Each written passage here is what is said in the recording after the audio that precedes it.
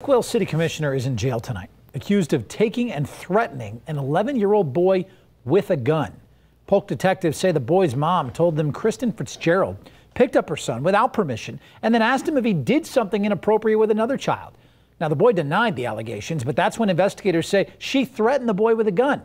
When questioned the first time, detectives say Fitzgerald denied the allegations, but later changed her story. When the young boy, the 11 year old, is telling the story, he said she threatened to kill me and bury me alive.